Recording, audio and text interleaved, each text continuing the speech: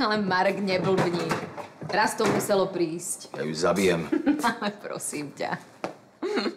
Veď je to celé iba taká malá zran... Srandička. Vítaj. Čaute. Potrebovala som odísť z domu. Počkaj, počkaj. A zase tu chceš ostať? Nie, neboj sa, ale som sa potrebovala vytariť. Ty niečo oslavuješ? Počul som, že máš frajera. To ti kto povedal? Je to pravda? Je to on? Tak ja som sem prišla, aby si ma podporil a ty si ešte horší než mama. A v čom ťa mám podporovať? Že máš 12 rokov a randíš s chlapcom, ktorý je starší aj divný? Ja s nikým nerandím. No vidíš, hovorila som, že je to srandička. Toto nie je žiadna srandička. Vieš, o čo ide takým chalanom v tom veku? Ale on nie je taký. Aha. Takže je to on. Veľká internetová hviezda.